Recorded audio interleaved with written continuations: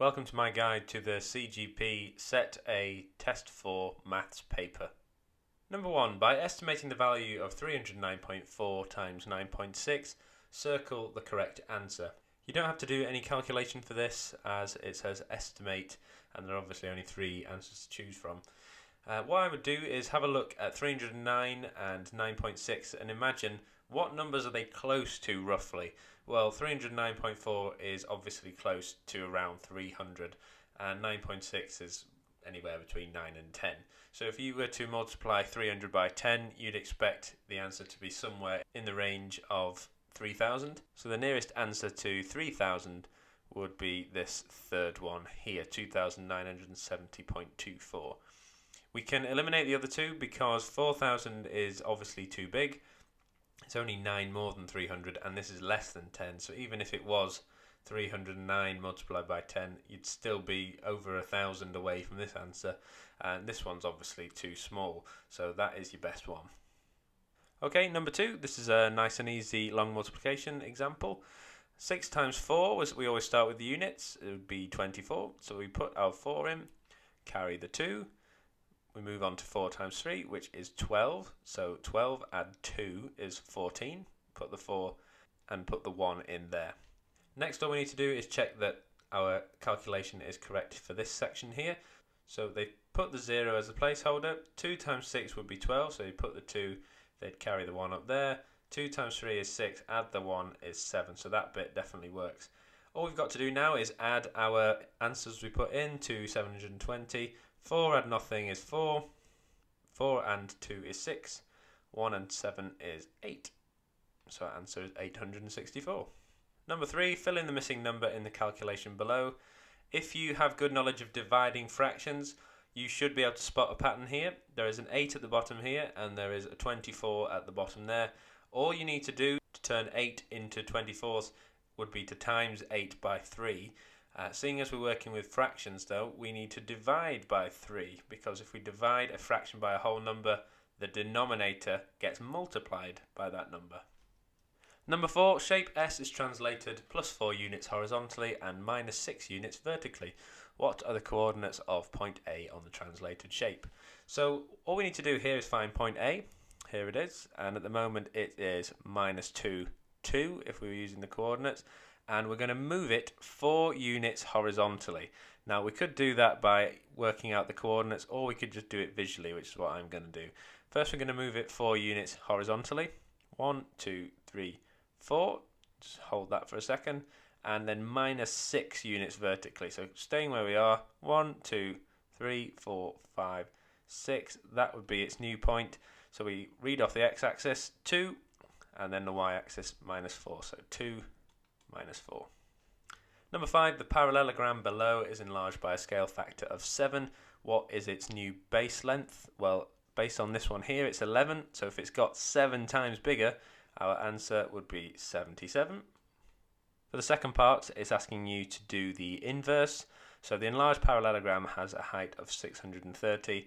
What is the height of x on the original parallelogram? So we times that by 7. What we need to do is divide this new number by 7 to get the original value. So 630 divided by 7 is 90. However, it is in millimeters, but it does say leave your answer in centimeters. So we have 90 millimeters. A lot of people would get caught out by that.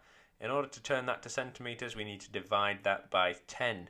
So 90 millimeters is 9 centimeters, the original value of x. Number six, it looks fairly complicated from the outset, but bear with me, it isn't as difficult as it looks. The number of days it takes to build a shed D is worked out using the formula D equals 7 plus 3R minus W, where R is the number of rainy days and W is the number of workers. If there are 4 rainy days and 3 workers, how many days will it take to build the shed? All we need to do is insert the numbers 4 and 3 into our equation that they've already given us. So D is the number we are trying to find. D equals 7 plus 3R. Now 3R means 3 times R. Now R is rainy days. We've been given 4 rainy days. So it's 7 plus 3 times 4, which is 12, minus W, which is the number of workers. So there are 3 workers. So that's minus 3. All we need to do now is solve D. So 12 minus 3 is 9, plus 7 is 16. So it will take 16 days to build the shed.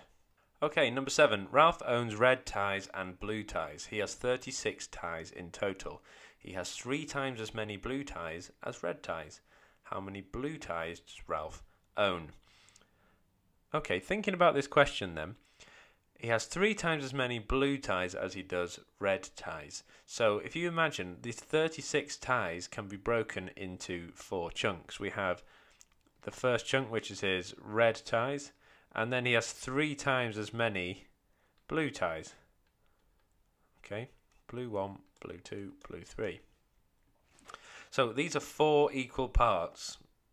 So what we need to do is divide 36 ties by 4. 36 divided by 4 is 9. So each of these chunks is worth 9. He has 9 red, then he has 9, 18, 27 blue ties.